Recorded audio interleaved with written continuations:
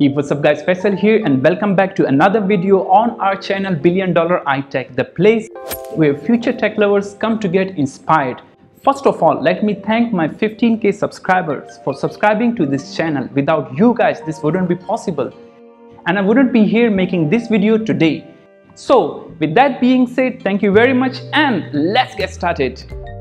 Download the two files, link is in the description below. The first file is the installer and the second one is the patcher to activate the license. Create a new folder to extract the installation files. Transfer the installation files to the new folder and right click and click on extract here. Next, very important, right click on the following file and click run as administrator. Once the installer will open, make sure from the drop down menu, select the Microsoft Office 2019. You may uncheck any of the Office application that you don't want to install or leave it as it is. Then click install Office. The installation will begin to install all the applications in Microsoft Office 2019. You may have patience until the installation will complete successfully. Now, once the Office 2019 installation is completed, we will activate the license. To do so, extract Office 2019 patch file here. Open the following folder and right click KMS Tools and make sure click Run as Administrator. At first, you will see the following error from Windows Security.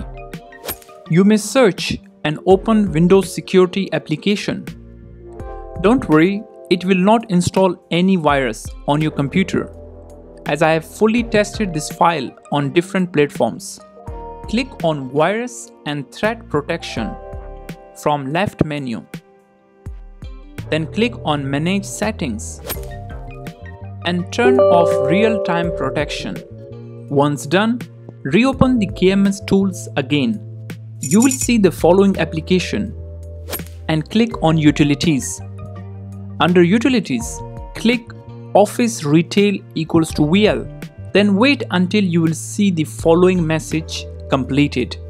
At last, click on Activate Office and wait until you see the message exiting. Hola!